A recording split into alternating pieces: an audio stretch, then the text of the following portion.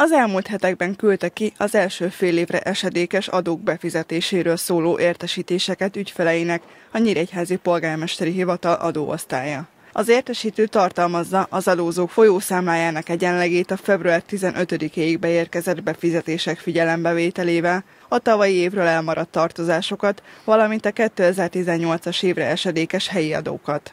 Nyíregyházán ez a helyi iparűzési adót, az építményadót, az idegenforgalmi adót jelenti, illetve természetesen ilyenkor a gépjárműadó fizetésről is beszélnünk kell, amely egy átengedett központi adóként funkcionál tulajdonképpen minden olyan adózót érinti, akinek az adó, ezekben az adónemekben van fizetési kötelezettsége ebben az évben.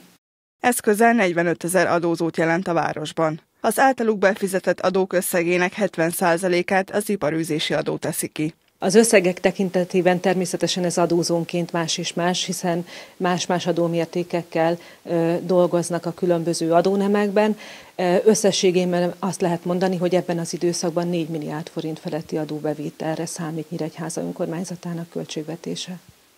A jogszabályok szerint a befizetések határideje március 15-e, azonban a nemzeti ünnep és a hozzá kapcsolódó hosszú hétvége miatt ez a határidő március 19-ére tolódott ki. Aki nem fizeti be időben, annak naponta számolnak fel késedelmi kamatot, amely a jegybanki alapkamat 2%-át jelenti. A polgármesteri hivatal adóosztálya a módosult határidő miatt március 19-én hétfőn rendkívüli ügyfélfogadást tart reggel 8 órától este 6 óráig az ügyfélcentrum 29-es, 30-as, valamint 31-es ablakánál.